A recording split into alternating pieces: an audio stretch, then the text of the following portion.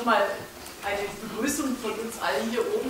Äh, wir werden uns einige, wir werden einige kurze Fragerunden hier veranstalten und dann aber die Fragen auch sehr gerne weiter ans Publikum geben. Das heißt, äh, wir möchten sie auf jeden Fall mit einbeziehen, auch damit es Ihnen hier nicht zu langweilig wird. Aber ich glaube, was Sie bisher gehört haben, war alles andere als langweilig und wir sind jetzt bereits bestens darauf vorbereitet was, äh, ja, oder wir wissen jetzt gut Bescheid über das, was Herr Böll für eine Figur war an sich. Die Frage ist natürlich, wie kann man das auf, den heutigen, die heutige Situation übertragen? Und äh, da würde ich an Herrn Foltermann als erstes vielleicht gerne mal die Frage stellen, ähm, wie kann man einen einen Bogen spannen von dem, was Böll damals gemacht hat, wie Böll sich verhalten hat, zu dem, was heute ist. Welche Rolle spielt der Schriftsteller heute noch im eigenen Land? Ich möchte mich dazu ein bisschen auf die, wenn nun leider abwesende Tanja Dükers beziehen, die in einem äh, Artikel, wo es um die Parteinahme der äh, Schriftsteller für die SPD äh, ging, schon bereits 2005 war das, in diesem Jahr hat sie einen Artikel geschrieben, da hat sie gesagt, ähm, eigentlich sollten die Schriftsteller doch Visionen entwickeln. Die sollten nicht Politik betreiben. Und sie sagt, es ist,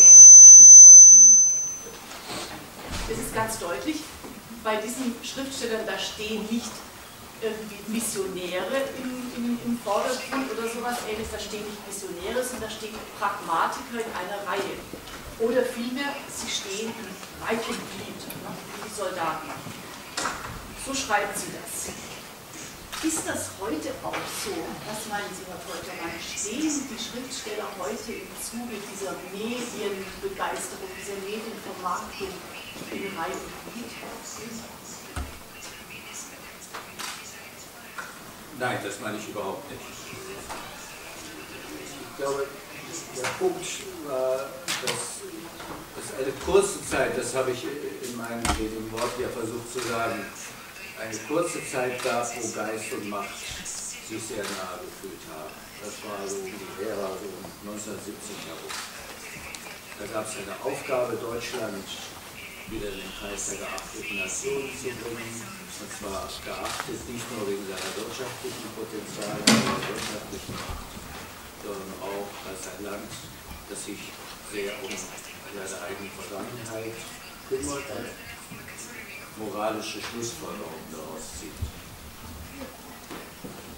Und der Willy Brandt, der von Seiten der Politik das repräsentiert hat, der wurde sehr schnell durch die Pragmatiker, die eben erwähnt wurden, ersetzt. Das ist kein negatives Urteil über Helmut Schmidt und die folgenden Bundeskanzler in Deutschland, äh, dass von da an sich die Intellektuellen getrennt haben von der Macht. Und gute Literatur, guter Journalismus, gute Zeitkritik, gute Gesellschaftskritik von da an von da an wesentlich dadurch bestimmt war, dass sie unabhängig war, dass sie kein Parteigänger war. Wir können das am einfachsten uns ja bei Journalisten vorstellen. Ein parteilicher Journalist, der lässt eben manche Dinge weg, der Partei, die gegenwärtig an der Regierung ist, nicht zu schaden. Der verschweigt bestimmte Dinge und lobt bestimmte Dinge, die die Regierung gerade getan hat. Das brauchen wir nicht. Und das ist etwas, was wir bei Intellektuellen eigentlich heute auch nicht beobachten. Wir haben eine heftige, gerade auch in Deutschland, eine heftige Diskussion über Journalismus, der als verlogen gilt, der als einseitig gilt. Aber ich glaube, das ist eine zugespitzte Polemik, die nicht trifft. Intellektuelle, Schriftsteller, Journalisten sind unabhängig, sie sind nicht Parteigänger, sondern sie sind eine Instanz, die von außen beobachtet, die sich selber als Personen engagieren, aber die eben durch guten Journalismus, durch gute Zeitkritik und auch durch gute Literatur der demokratischen Kultur und der Entwicklung der Gesellschaft dienlich sind, ohne dass sie deswegen blind werden gegenüber den äh, Fehlern, den Einseitigkeiten der jeweils Regierenden. Sie sind engagiert in einzelnen konkreten Fällen, aber ich kann sehr gut verstehen, wenn die Tanja Düppers eben in ihrem Vortrag betont hat, ich selber will kein Parteigänger sein. Und da ist sie authentische Nachfolgerin von Heinrich Böll, der das auch für sich beantragt und beansprucht hat. Und Grass, der war ja Mitglied der SPD, der hat richtig Wahlkampf gemacht die SPD, ist dann auch in den frühen 90er Jahren auch aus der SPD ausgetreten. Das hielt nicht mehr zusammen. Vielleicht erstmal so viel. Äh, dann ich die Frage natürlich sofort an Herrn Sebastiakis weitergeben. In Griechenland gab es vor den letzten Wahlen im Jahr 2015 eine breite Unterstützung gerade der Intellektuellen für Tsipras, der angekündigt hatte, diese Politik der vorherigen Regierung zu beenden und die Forderung nach Reparationszahlungen durch die Deutschen endlich, endlich durchzusetzen. Insofern schienen in Griechenland tatsächlich Visionäre am Werk. Nein, hier. Hört ihr nichts da hinten? So. Oh, jetzt ist gut. Ich weiß nicht. Okay. Also nochmal die Frage. Ähm, in Griechenland gab es vor den letzten Wahlen äh, eine breite Unterstützung der Intellektuellen für Tsipras. Tsipras hatte ja eine ganze Menge angekündigt, eben die Politik der rechten Regierung vorher zu beenden und die Forderung nach Reparationszahlungen durch die Deutschen durchzusetzen und ähnliches mehr. Insofern schienen in Griechenland zu dieser Zeit tatsächlich Visionäre am Werk zu sein. Ähm, wie stellt sich die Situation Ihrer Meinung nach jetzt dar?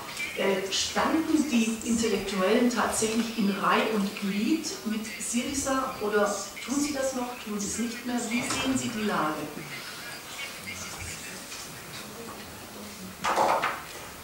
Για να μην μιλήσω σαν τον το φουτουργό, που ζητώ τα γερμανικά,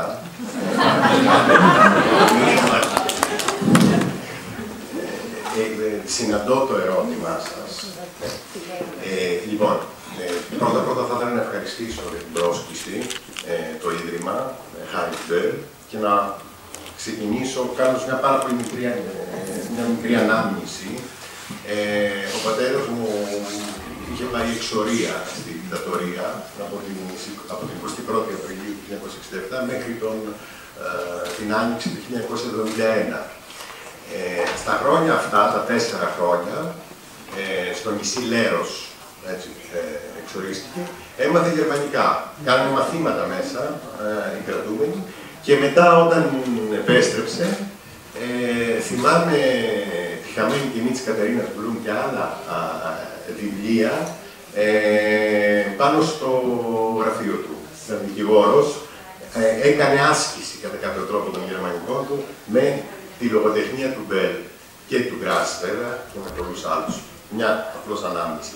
Ε, επιστρέφω στο ερώτημα που έχει πολύ ενδιαφέρον. Ε, νομίζω, ε, δεν το ήξερα για τη Γερμανία, ήξερα για την Αγγλία και ήξερα και για τη Γαλλία. Ότι υπήρξε ένας φιλελληνισμός της κρίσης, θα τον έλεγα. Αριστερός φιλελληνισμός ή αριστερόστροφος.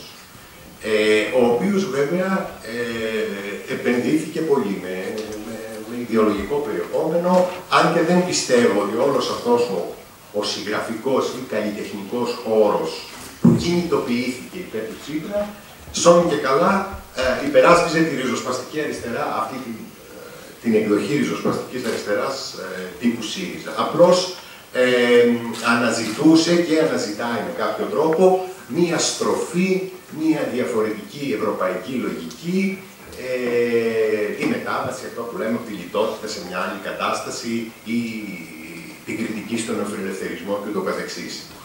Νομίζω όμως ότι ο τρόπος με τον οποίο διαχειρίστηκε ε, αυτή την ιστορία η συγκεκριμένη ελληνική αριστερά, έτσι, ε, σε συμμαχία με ένα κομμάτι της εθνικιστικής δεξιάς, ε, οδηγεί στο αντίστροφο τώρα. Ζούμε, και το έχω γράψει, ζούμε μία ουσιαστικά όχι πανινόρθωση, αλλά ζούμε μία μεγάλη διάψευση και απογοήτευση, η οποία οδηγεί σε αντιπολιτικά, σε κίνηκα, σε μη δενιστικά φαινόμενα. Σε έναν μηχανισμό ε, ή σε μια αντιπολιτική ε, στο στροφή ε, το χώρο αυτό, έτσι μιλάω για, για, για, για χώρο καλλιτεχνικό, για χώρο συγγραφικό, για χώρο της διανόησης. Δεν μιλάω για, το, για τα λαϊκά στρώματα, εκεί ε, είναι άλλα τα, άλλα τα δεδομένα. Νομίζω λοιπόν ότι έχει σημασία ε, αυτό που λέει ο Κας Μούντε, ένας ε, ε, επιφανής ας πούμε, πολιτικός θεωρητικός, η διάψευση της λαϊκιστικής υπόσχεσης. Ε, είναι, είναι τίτλος βιβλίου αυτό. Ε, ότι η διάψευση της λαϊκιστικής υπόσχεσης ε, οδηγεί σε φαινόμενα ουσιαστικά ε, μιας εθνικής κατάθλιψης, μιας συλλογικής αμηχανίας, σε αυτό που ζούμε σήμερα, που είναι ένας άλλος ιστορικός χρόνος. Δηλαδή, μέσα σε αυτά τα χρόνια, να το πω απλά, ε, στα 8 χρόνια της κρίσης της ελληνικής, ακολουθούμε διαφορετικές φάσεις. Έχουμε περάσει σε μια άλλη φάση, δεν βρισκόμαστε στη φάση της αγανάκτησης, πώς μπορούμε να το πούμε αυτό στα, στα γερμανικά, ναι. Δεν βρισκόμαστε στη φάση της αγανάκτησης, αλλά σε μια φάση δυσφορίας, η οποία δεν βρίσκει τρόπο έκφρασης ή θα βρει τρόπο έκφρασης, αναζητεί μια εθνικιστική στην ουσία διέξοδο, ε, η οποία απλώς δεν ενσαρκώνεται πολιτικά στην Ελλάδα. Έτσι, ενσαρκώνεται αλλού, γιατί εντάξει, υπάρχει το φαινόμενο Χρυσή Αυγή, αλλά το Χρυσή Αυγή, η Χρυσή Αυγή είναι, είναι εξτρεμιστική, ας πούμε, εθνικιστική εκδοχή. Δεν είναι μια εθνικιστική εκδοχή η οποία μπορεί να παίξει στο κεντρικό πολιτικό παιχνίδι.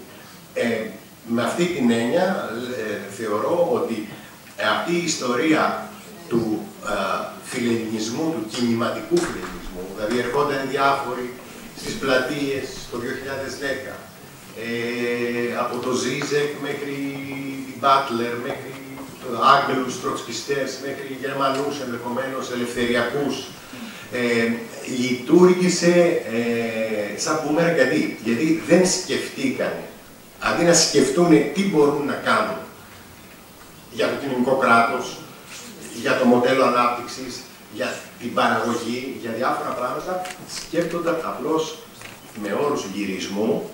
Εγώ εδώ θα συμφωνήσω λίγο, παρότι δεν έχω καμιά σχέση με τον Χέλμουντ Σμιτ, αλλά θα συμφωνήσω ότι πολλές φορές σε ορισμένες περιόδους κρίσης ε, πρέπει να διαχωρίσουμε το λυρικό ε, στοιχείο από το δημόσιο και πολιτικό μας στοιχείο.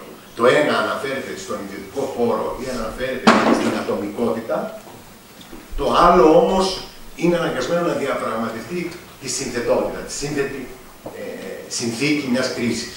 Νομίζω ότι υπήρξε μια λογική απλοποίησης των πραγμάτων στη βάση ενός δίπολου λαός, ελίτ, Γερμανοί, Έλληνες, ε, ξένοι δυνάστες, ε, Έλλην, ελληνικός λαός. Λειτουργήσαν απλοϊκές διχοτομικές λογικές και δεν μπορέσαμε να περάσουμε σε ένα επόμενο στάδιο ε, λυπάμαι που είμαι λίγο απογοητευτικός στο κοινό, ε, ένα, ένα στάδιο αναστοχαστικού, θα έλεγα, ε, ρεαλισμού, όχι ρεαλισμού ε, υποταγής, τέλος πάντων, ή ε, λιπόθυμου, αλλά που θα μπορέσει να, να οδηγήσει τα πράγματα σε μια νέα, σε μια, μια νέα μορφή συνείδηση τη κρίση.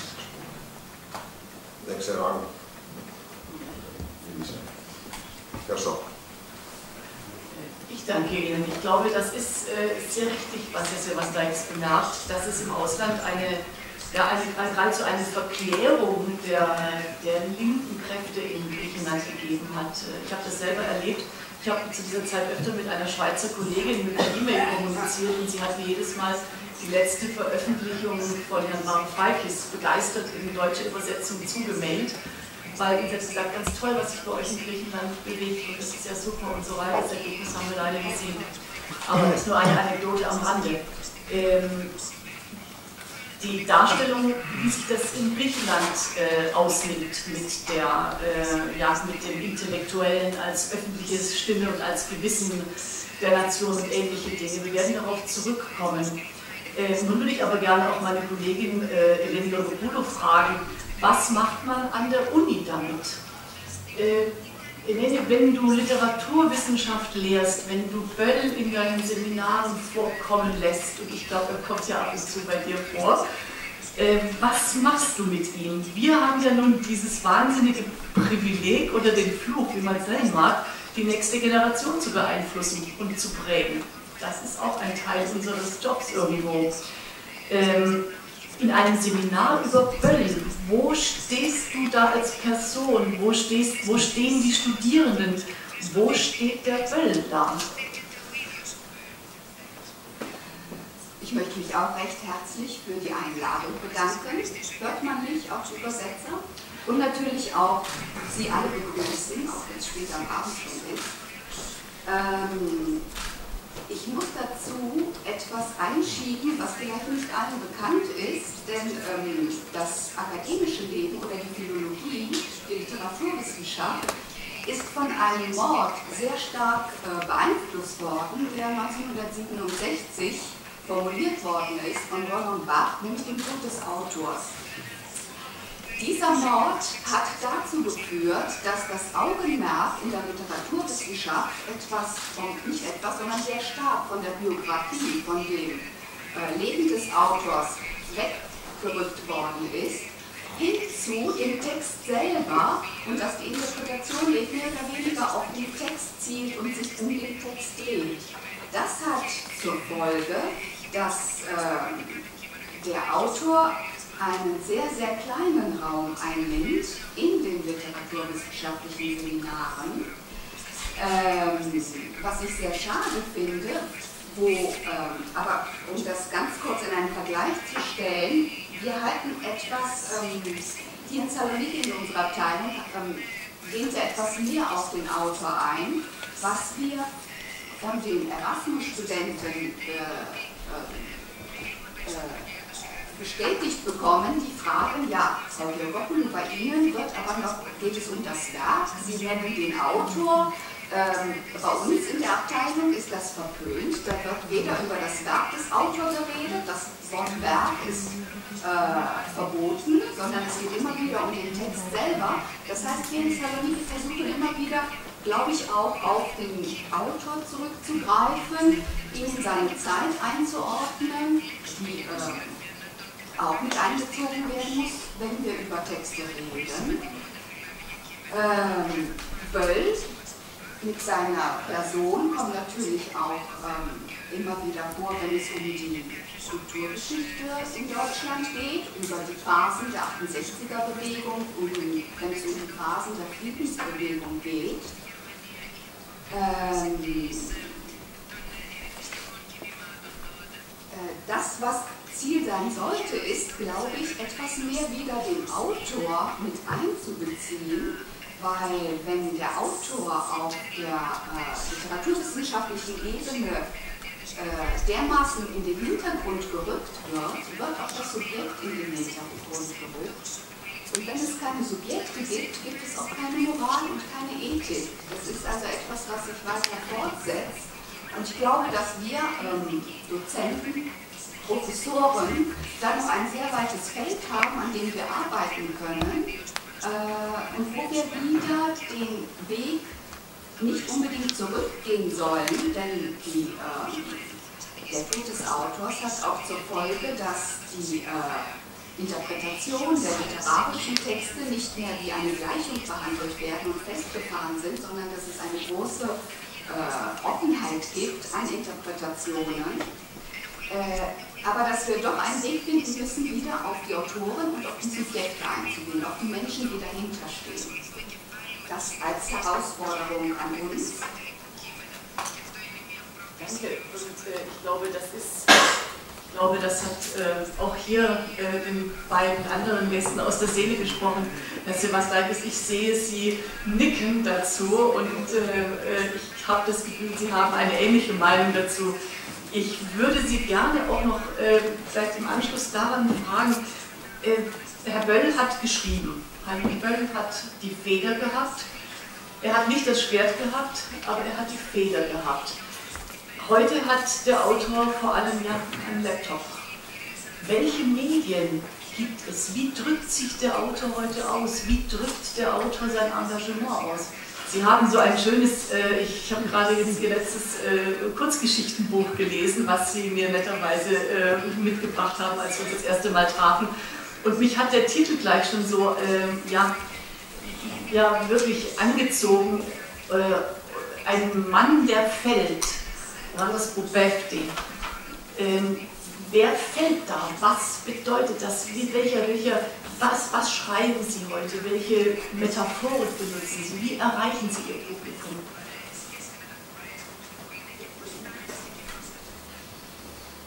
Ναι, ε, πολύ ωραία ερώτηση και δύσκολη ερώτηση. Ε, γιατί πρέπει λίγο να βγω από την προσωπική ας πούμε ε, εμπειρία και να μιλήσω λίγο για το πώς βλέπω ε, την εμπειρία της λογοτεχνίας μέσα σε αυτά τα χρόνια τα δύσκολα χρόνια, τα τελευταία, και αν έχει αλλάξει κάτι και τι αλλάζει. Εγώ θεωρώ ότι αυτό που έχει πει σε ανύποπτο χρόνο ο Άμοσος, ότι ας πούμε η λογοτεχνία είναι μια υπόθεση της ατομικότητας, του ατόμου ή της οικογένειας. Δεν τον ενδιαφέρει σόν και καλά άμεσα, άμεσα, με ευθύ τρόπο, να συνδέσει το ατομικό με το κοινωνικό ή με το συλλογικό με ένα αν απλοϊκό τρόπο. Νομίζω ότι βρισκόμαστε μετά από αυτή ε, την προοπτική και πρέπει να, να δούμε, ας πούμε, ότι αυτό που λέμε λογοτεχνία της κρίσης, λογοτεχνία που θα μιλήσει για την κατάσταση την κοινωνική ή την κατάσταση την πολιτική ε, ή την κατάσταση την ανθρώπινη, την, την παρεξιακή, αλλά μέσα στις συνθήκες της κρίσης.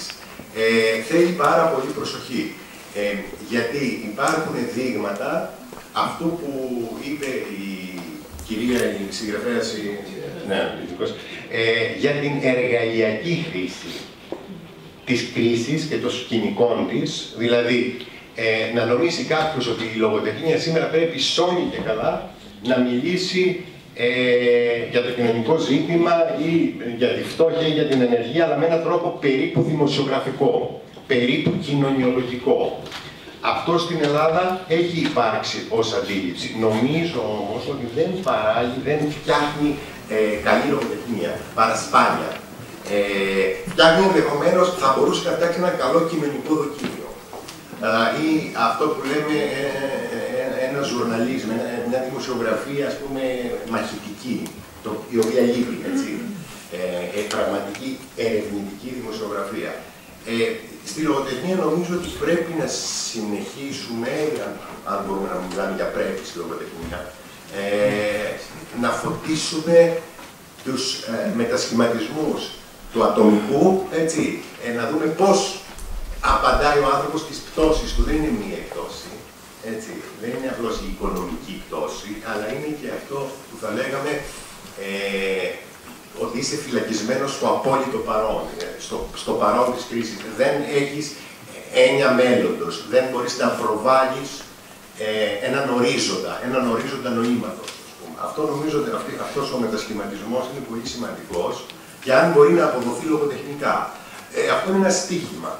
Ο καθένας, και υπάρχουν διαφορετικές στρατηγικές εδώ, να αντιμετωπίσει ο καθένας συγγραφέας με τα δικά του εργαλεία, με τη δική του γλώσσα, αυτό το σημαντικό ερώτημα. Τέλος, να πω κάτι για την ελληνική σκηνή. Ε, νομίζω, διαβλέπω ότι υπάρχει τα τελευταία, τα τελευταία χρόνια υπάρχει μία στροφή στους νεότερους, όχι στη δική μου γενιά, έτσι, εγώ μπήκα πολύ αργά, στους ανθρώπους γύρω στα 30, μια στροφή στην ιστορία.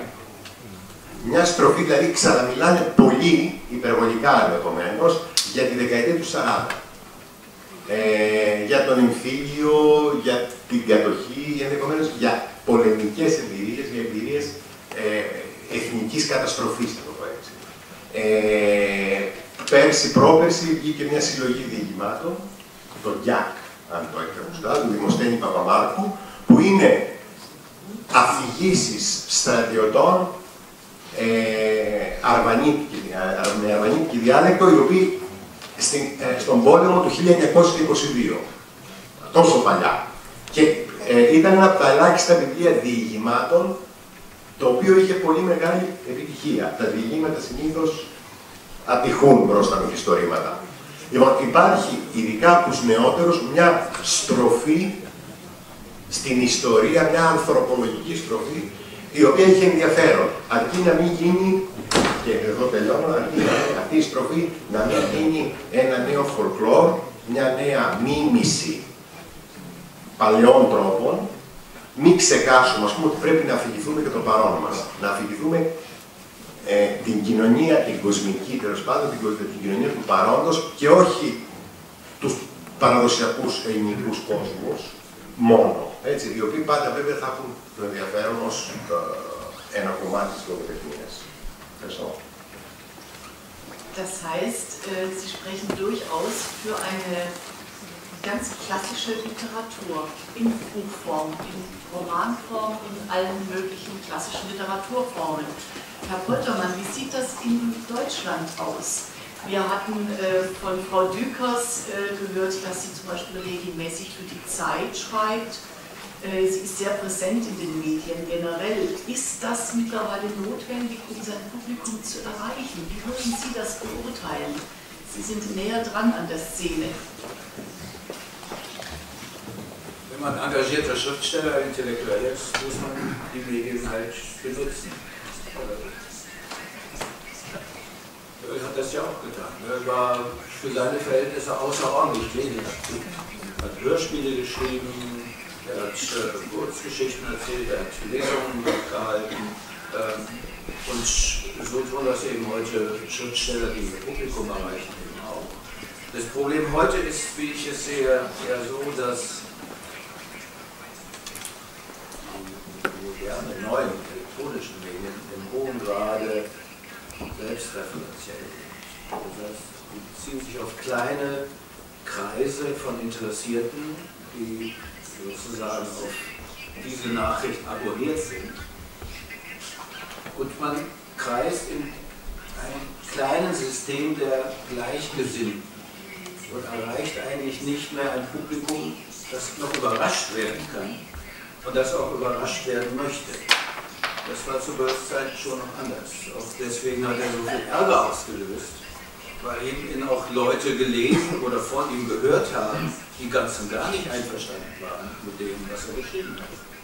Während wir heute diesen Kreis haben, wir nennen das Echoräume, dass sozusagen die elektronischen Medien lauter Echoräume schaffen, wo ich spreche und es schallt mir zurück von denen, die von vornherein sich nur immer auf Poltermann, auf Dückers und dergleichen sozusagen konzentrieren und einverstanden sind und ihr Like geben oder irgendwie so etwas. Und das führt, das führt zu einem Verlust an kritischer Debatte. Und darüber müssen wir nachdenken. Ich bin entschieden der Auffassung, ja, ich bin für guten Journalismus, bin in dem Sinne für autonome Literatur, die auch gute Literatur sein will und nicht Parteigänger von. Aber wir müssen eben sehen, dass die Medien uns zunehmend Schwierigkeiten machen, eigentlich den Effekt von Literatur sozusagen noch nachzuvollziehen. Vielleicht sogar. Eleni, dann würde ich die Frage an dich weiterreichen. Wie bringt man heute den engagierten Autor, die engagierte Autorin an Studierende, die 20 bis 18, 19 oder sowas, äh, wie bringt man das an die ran? Ich glaube, es geht darum, wie vielleicht schließe ich hier auch nochmal an, an diese kritische Debatte. Ich glaube, dass es wichtig ist, ähm, äh, äh, wir, wir, sind ja stark am Text zentriert, was aber auch nicht so schlimm ist, denn das, was der Text uns bietet, ein Spielraum ist bei den Studenten, den kritischen Blick zu öffnen, was ein Vorschritt ist zum späteren Engagement, meine ich, ähm, und vor allem ähm, an Literatur zu üben, sich eine Meinung zu bilden. Denn daran hapert es oft bei den jungen Menschen, die zu uns an die Uni kommen, äh, die keine Meinung haben, mitschleifen, aus dem Schulsystem kommen, aus dem sie überfordert sind. Und das, was ganz wichtig ist, meine ich, zumindest geht es mir darum in meinen Fächern, in meinen Seminaren, dass es gar nicht so sehr immer um die Inhalte geht, sondern darum, eben diesen kritischen Blick und dieses kritische Verständnis und den Mut äh, zu bekommen, die Meinung auch in einem Seminar zu vertreten. Und das sind kleine Übungsschritte, die dann für ein späteres Engagement die Basis bilden, Ich glaube, unser Publikum ist hungrig. Ich weiß. Ich weiß, ich weiß. Ja, dann äh, würde ich eigentlich die Fragerunde auch äh, gerne an Sie, auf Sie weiter öffnen. Ähm, was wir hier eigentlich noch gerne diskutieren wollen, und das würde ich vielleicht gerne mit Ihnen allen tun, ist, wie stehen wir heute als Europäer da? Auch im Gedenken an Böll. Böll war ein großer, ein überzeugter Europäer und er hat das Werden der Europäischen Union miterlebt. Und er stand dahinter, war gegen die äh, nationalistische Karte, die auch natürlich in den 70er und 60er Jahren in Deutschland gespielt wurde. Heute erleben wir eine, ein Phänomen in der Europäischen Union, was ja geradezu gruselig ist, auch wenn die, das der Ausgang der, bis der ersten Runde der französischen Wahlen jetzt ja wieder ein bisschen hoffen lässt. Also vielleicht ist doch noch nicht aller Tage Abend. Auch die Holländer haben sich ja äh, letztlich gegen Geert Wilders im großen Stil äh, ausgesprochen vor einigen Wochen. Was wir uns überlegt hatten bei der Planung dieser Veranstaltung war wirklich auch die Frage, was wird eigentlich heute aus der EU? Was wird mit dieser großen Erzählung und welche Rolle spielen Schriftsteller dabei? Welche Rolle kann Literatur überhaupt dabei spielen? Äh, ich möchte diese Frage einfach auch erstmal, oder beziehungsweise ich möchte es auch erstmal an Sie weitergeben, wenn Sie bereits irgendwas in diese Richtung sich überlegt haben oder Stellungnahmen abgeben möchten sehe da im Moment noch niemanden. Sie warten erstmal noch ab. Also möchte ich diese Frage vielleicht erstmal noch an Herrn Sebastiaikis weitergeben. Wir können ja heute alle nicht mehr national denken und agieren. Also in welche Richtung denken und agieren wir nun? Wie machen wir das? Wie halten wir es als engagierte Autoren oder Leute, die sich mit, Auto, mit intellektuellen Autoren beschäftigen? Wie halten wir es mit Europa? Ε, νομίζω ότι ε, ζούμε μια, όπως είπα, μια καινούργια φάση, δύσκολη. Ε, έχουν ανέβει, έχουν, ανέρχονται, έτσι, είναι σε άνοδο οι λογικές της ταυτότητας. Ε, οι πολιτικές της ταυτότητας, όχι με την έννοια που είχαν πάρει στη δεκαετία του 80 ή του 90, αλλά με μια άλλη έννοια, έτσι, πιο εθνικιστική, πιο σοβινιστική, ε, διάφορα μοντέλα εθνοπροστατευτισμού. Έτσι. Αυτά είναι τα ρεύματα, τα ανερχόμενα. Έτσι. Όχι τα ευρισκόμενα σε παρακμία, αλλά αυτά που έχουν τη δυναμική. Δηλαδή η δυναμική σήμερα, δυστυχώς, δυστυχώς, αλλά πρέπει κάποιος να αναγνωρίσει το, το πραγματικό για να μπορέσει να παρέμβει μετά. Ε, η δυναμική ε, στην Ευρώπη, σε σε μεγάλο μέρος και της Βόρειας Ευρώπης και της Ανατολικής βέβαια και αλλού, είναι ένας ε, εθνικισμός της ταυτότητας. Με πολύ συγκεκριμένα χαρακτηριστικά. Ε, νομίζω ότι ε, ε, οι συγγραφείς εδώ έχουν να παίξουν ένα ρόλο. Έχουν να παίξουν ένα ρόλο, όχι το παραδοσιακό ρόλο του να ας πούμε, να, να βρίζουν το κοινό, όπως έλεγε ο Χάρτη, δηλαδή να, το, να, να αρχίσουν και να λένε ότι τα λαϊκά στρώματα, ε, ο λαός, ας πούμε, κάνει κακές επιλογές, ψηφίζοντας, ας πούμε, εθνικολαϊκιστές και ούτω καθεξής. Αυτό δεν έχει κανένα νόημα, έτσι. Ε, αλλά πρέπει υπομονετικά να εξηγείς, να συνομιλείς, ε, να προσπαθήσεις, κρατώντας την υπομονή σου, γιατί είναι πάρα πολύ δύσκολο αυτό. Μπορεί να το λέω τώρα, αλλά είναι πάρα πολύ δύσκολο όταν βρεθείς σε ένα ταξί στη Θεσσαλονίκη και ακούσεις, ας πούμε, για τον Παΐσιο και για τον Αλέξανδρο και για τον Σόρος και για δεν ξέρω τι άλλο και φτιάχνουν ένα, μια συνωμοσιολογία, ας πούμε, έτσι. Μια συνωμοσιολογία, μια θεωρία της συνωμοσίας. Ε, εκεί πρέπει να έχει κάποιος την υπομονή, ενδεχομένως και λίγο το χιούμορ, το οποίο δεν το επιστρατεύουμε πολλές φορές, είναι κριτικό όπλο, κριτικό εργαλείο, ας πούμε, να ε, αντιμετωπίσει αυτά τα φαινόμενα. Διότι αυτά είναι, αυτές οι μορφές συνείδησης, ας πούμε, είναι οι ανερχόμενες μετά το 2000 και το βλέπω ότι έχουν και επιρροή και σε συγγραφείς. Υπάρχει, δεν το έχουμε πει σήμερα, υπάρχει, υπάρχουν αρκετοί νεοσυντηρητικοί συγγραφείς, δηλαδή οι οποίοι έχουν επομιστεί ε, ή ας πούμε, αν όχι επομιστεί, έχουν μπει σε αυτή τη λογική ε, και αρχίζουν ας πούμε και αναπτύσσουν με ένα δικό τους τρόπο ε, αυτό την, νεο, την νεοεθνικιστική ατζέντα. Λοιπόν, ε, υπομονή, ε, μια δουλειά ακόμα και στα social media και έχει πάρα πολύ δίκιο ο αγαπητός Ανδρέας όταν λέει όντως ότι και στα social media λειτουργούν, λειτουργεί ένας κοινοτισμός, ένας κομμουνιταρίσμος ας πούμε, ένα πράγμα, δηλαδή ο καθένας έχει τους φίλους του, τους, αυτούς που τον επενούν, αυτούς που τον, ε, κατά κάποιο τρόπο που τον εγκρίνουν και δεν συνομιλεί με άλλους κόσμους, ε, αλλά και εκεί είναι μια δουλειά, ένα πεδίο. Ένα πεδίο, εγώ δεν το υποτιμώ καθόλου αυτό το pop πεδίο, ας πούμε, το πιο popular. Ε, διότι το άλλο, ας πούμε το ακαδημαϊκό, το καθαρά ακαδημαϊκό, είναι περιορισμένο. Εμείς τα λέμε, εμείς τα ακούμε. Έτσι, είναι μια έκφραση γνωστή, ας πούμε. Χρειάζεται, απλώς θέλω να υπογραμμίσω ότι είναι δύσκολο το πεδίο.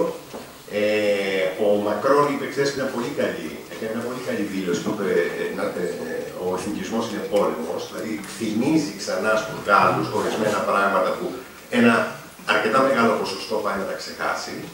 Ε, αλλά ε, δεν, και αυτή είναι μια προσωπική γνώμη και τελειώνω, δεν νομίζω ότι είναι αποτελεσματικό όπλο, αποτελεσματικό εργαλείο στη δημόσια συζήτηση ένας αντιφασισμός αλανσιέν, που λέμε, παλιού τύπου, παραδοσιακού τύπου. Διότι και οι νέες μορφές δεξιάς δεν είναι αυτό που ήταν κάποτε. Έχουν ενσωματώσει ε, δημοκρατικά ή δημοκρατικίστικα, στο πούμε, στοιχεία, έχουν ενσωματώσει δημοψηφισματικές λογικές, είναι δημοψηφίους, έχουν ενσωματώσει πολλά στοιχεία της μαζικής κουλτούρας, έτσι. Άρα χρειάζεται κάποιος ε, για να αρθρώσει, να κάνει κοινωνική κριτική, που είναι πολύ σημαντικό πράγμα, να α, πάρει υπόψη αυτές τις αλλαγές στον αντίπαλο.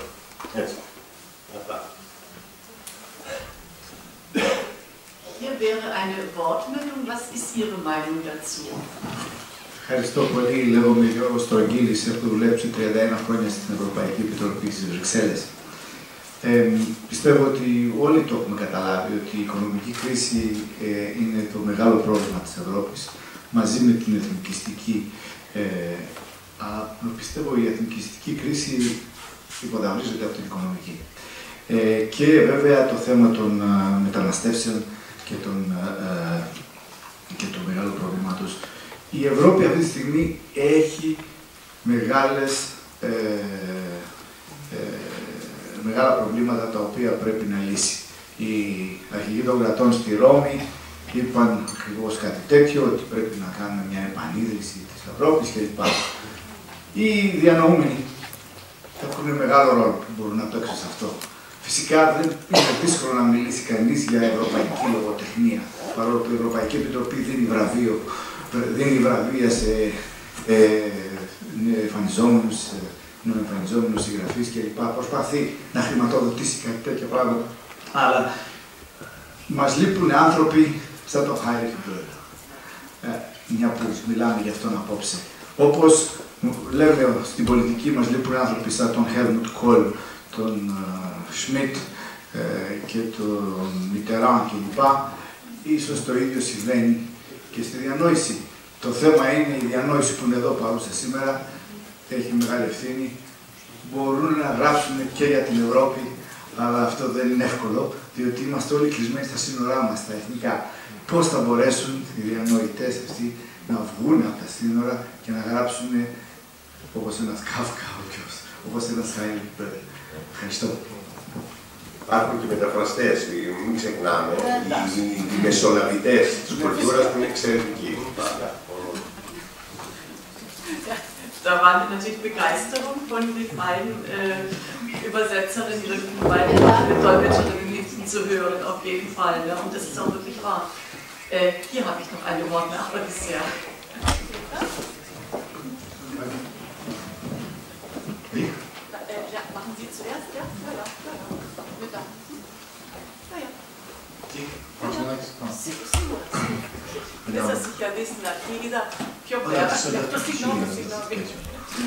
Guten Abend, willkommen nach Thessaloniki. Ich habe also eine Frage an den ganzen Panel. aber hauptsächlich an Herr Bosemann, der ist der Vorsitzende von dem Heilig Bürger Stiftung. Richtig? Also, was glauben Sie, was würde also Herr Heilig Bürger jetzt sagen bei dieser ganzen Krise, die ja so nach 2002 begonnen hat, also nach der und besonders für die Krise in Griechenland? Was würde er jetzt schreiben? Ich?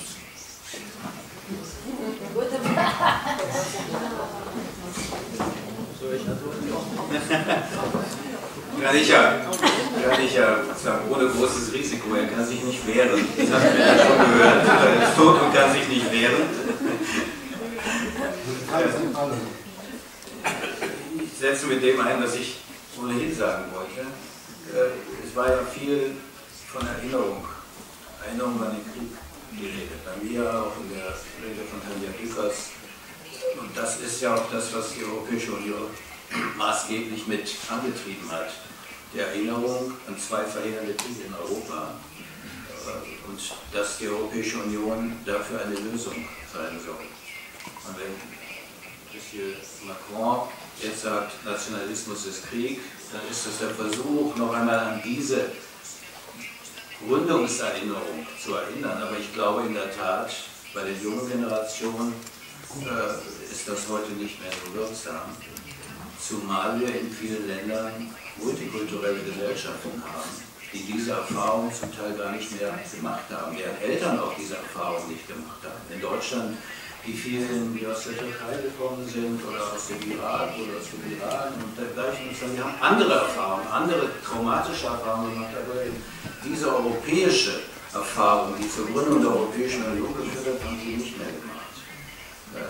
Deswegen noch, bevor ich auf Ihre Frage eingehe, äh, finde ich es so wichtig, dass wir in Deutschland etwa Schriftsteller, Intellektuelle wie Navid Kermani haben, äh, jemand, der auch aus dem, mit seinen Eltern aus dem Iran als kleiner Junge nach Deutschland gekommen ist, äh, ein hoch angesehener Gelehrter ist, ist islamischer Theologe, ein sehr erfolgreicher Schriftsteller und eben Intellektueller und der mit seiner Person eine durch Deutschland reist und europapolitische Diskussionen veranstaltet, der sich ehemalige Politiker, nie aktive Politiker, mit aufs Podium holt und mit uns Schulklassen multikulturell zusammengesetzte Schulklassen dazu einlädt und an die Schulen geht und ihnen die Vorteile einer Gesellschaft, einer europäischen Gesellschaft, einer Europäischen Union, die nicht so auf Grenzen basiert, äh, erläutert, die Minderheitenschutz gewissermaßen zum Prinzip erhebt, wo sagen, innerhalb der Europäischen Union jeder Minderheit und Mehrheit sein kann und nicht Verfolgung und Diskriminierung fürchten muss. Und mir ist das so eindrücklich, weil er als Person beispielsweise genau der Richtige ist, in einer sich wandelnden Gesellschaft mit anderen Erinnerungen sozusagen ein plausibles Argument für eine Europäische Union vorzutragen, das eben weggeht von dieser Kriegserfahrung und eher sozusagen das Positive. Wir leben multikulturell, äh, wir leben mit einer Sensibilität für die anderen, die Erfahrungen, die die anderen mitgebracht haben und können uns da gegenseitig akzeptieren. Ich will jetzt nicht wegnehmen, dass es gerade auch in Deutschland heftige Konflikte gibt und ich habe zum Teil auch eine weniger positive Neigung, Erhaltung zu vielen Fragen des Multikulturalismus, aber generell finde ich das sagen, sehr überzeugend und ich finde es fantastisch, wie er als Person gewissermaßen eine neue Erzählung in Deutschland zu rekonstruieren versucht. Heinrich Böll würde sich zur Krise in Griechenland natürlich erst einmal so verhalten, dass er äh, den Unterschied macht zwischen den Mächtigen und den weniger Mächtigen. Und würde insoweit Partei ergreifen, sofort Partei ergreifen für die, die in der schwächeren Position sind. Äh, er ist aber jemand, der in den 60er Jahren sagte, was uns fehlt, ist das Vertrauen. Das ist vor allen Dingen natürlich bezogen auf das Vertrauen der Menschen nach dem Krieg, die misstrauisch sind zu ihren Nachbarn. Aber Vertrauen ist eine zentrale europäische Kategorie und darin haben wir den größten Mangel. In Deutschland ist es ja nicht so, dass äh, überwiegend nur gesehen wird, dass im Mittelmeer Party gefeiert wird. Es ist so, dass es ein tiefes Misstrauen in die Handlungsfähigkeit des griechischen Staates gibt. Und das ist ja nicht ganz unberechtigt. Und da haben wir ein Problem. Europa leidet, glaube ich, zentral an einer Vertrauenskrise. Nicht so sehr, dass die einen die Verträge äh, sehr maximal auslegen und dass die einen mehr Geld brauchen und die anderen kein Geld geben wollen und dergleichen. Es ist eine Vertrauenskrise, die wir haben und das werden wir schauen. Wir können vielleicht hoffen, dass der neue französische Präsident so der Macron-Präsident wird einen wichtigen Beitrag leistet, äh, indem er äh, sagen wir mal, eine, Vorleistung erbringt, denn das ist klar, er sagt es ja offen, Frankreich muss gewisse Leistungen erbringen, damit in Berlin ihm Vertrauen entgegengebracht wird. Und wir brauchen einen solchen Schub an Vertrauen. Das geht jetzt sehr ins Politische, weg vom Schriftsteller, aber Heinrich Böll würde erst einmal ganz klar Partei ergreifen für die Schwächeren äh, und er würde versuchen, das gewissermaßen nicht mit Kategorien wie Austerität, Kapitalismus, Finanzkapitalismus zu beschreiben, sondern er würde konkret mit Menschen sprechen, er würde die Situation von Menschen, die ihren Job verloren haben, äh, die auswandern müssen und dergleichen, die würde er schildern. Er würde Schicksale schildern und nicht mit den großen Kategorien, vor allen Dingen nicht mit Austerität handeln. Ich glaube, es hätte kein besseres Schlusswort geben können, würde ich beinahe sagen. Äh, aber wir hatten hier noch einige Wortmeldungen. Also es gibt, wir könnten jetzt durchaus, ich würde vorschlagen vielleicht, dass wir den großen, äh, die große Veranstaltung an dieser Stelle tatsächlich beenden. Sind Sie mir nicht böse, aber wir haben noch äh, einen Empfang von Herrn Generalkonsul Stechel hier. Äh, und das ist durchaus ein schöner Programmpunkt. Das heißt, hier, wenn Sie rausgehen, gleich rechts, werden Sie jetzt was zu essen und was zu trinken aufgeba äh, aufgebaut finden. Und ich denke, äh, da lässt sich gut weiter diskutieren. Wir werden alle noch zu Ihrer Verfügung stehen. Ich danke Ihnen ganz herzlich für Ihr lange Daumen.